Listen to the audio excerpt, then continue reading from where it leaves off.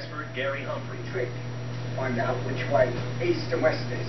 and gearhead Bill Wu Dude, it is really have three days to make tracks out of the Atacama Desert and reach civilization at the coast. But in their hurry to log miles, they've gotten bogged in a sand bowl. You stand there and I'll get out and have a look. Oh, bro! We got bogged right onto the axle. It was.